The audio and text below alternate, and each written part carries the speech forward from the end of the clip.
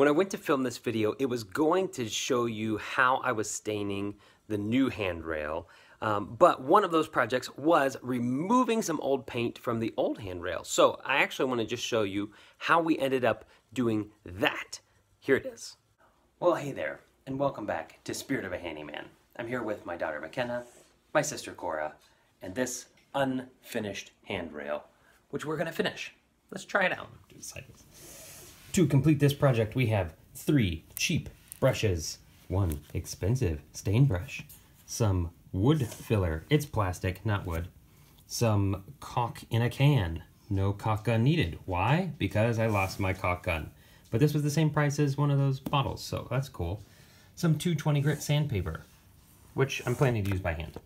This fancy stain and poly, as well as some aircraft remover to remove any aircraft. The plan is to use the aircraft remover to remove this aircraft right here, as well as that aircraft right there. Maybe it'll work. It's paint, it's not an aircraft. So aircrafts are hard to remove, especially when the instructions are uh, rusted off and Removed. you don't speak Spanish. Use your smear thing and just smear this a little bit. Your smear stick. Yeah, just have these.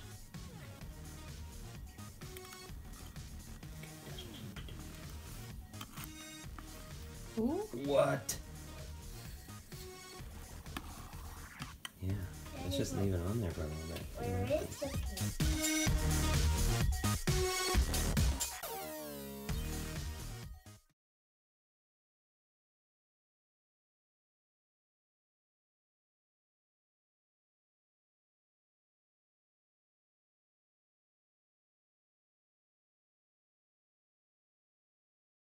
Hey Cora, how's that gel stuff working? Does it help compared to just scraping the paint?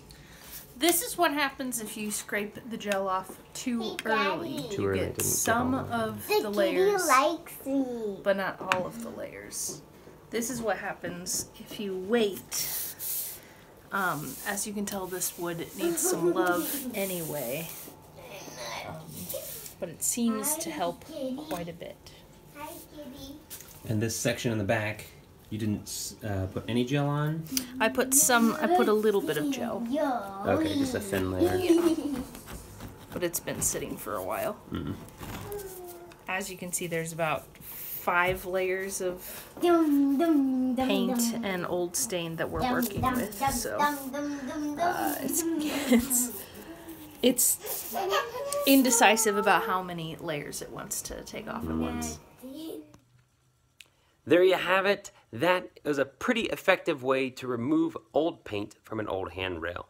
Next up, we're going to just sand that lightly down and then apply a new stain, and hopefully we'll have a pretty good match. Stay tuned for that video. More coming at you from Spirit of Handy. spirit of a handyman. Handyman.